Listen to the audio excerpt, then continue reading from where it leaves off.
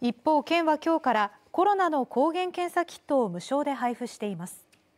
県内に住む高校生以上64歳以下の濃厚接触者や要待機者のうち基礎疾患がない人が対象でウェブで申し込むと翌々日までには自宅に届くということです。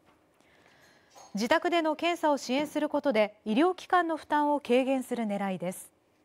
またかかりつけ医がいない発熱患者などから相談を受ける県の受診相談センターは今日から当面の間24時間体制で対応に当たるということです。